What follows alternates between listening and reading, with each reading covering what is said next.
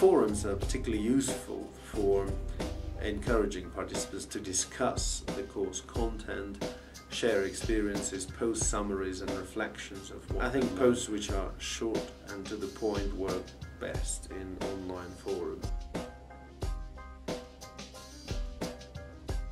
Um, any project which requires group work, um, Wiki can be used for effectively and uh, then the wiki can be combined with the forum where the group can summarize and post the final definitive list.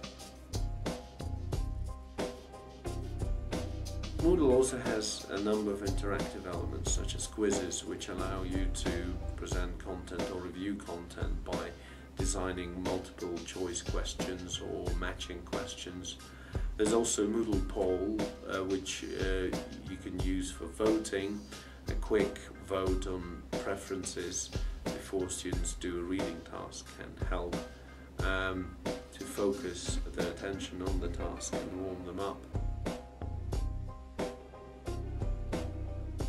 Moodle journals and blogs can also be used um, to encourage reflection with participants sharing their reactions to the course and course tasks with the tutor or their peers. Um, they're also a useful tool um, for gauging progress and for giving individual feedback to participants.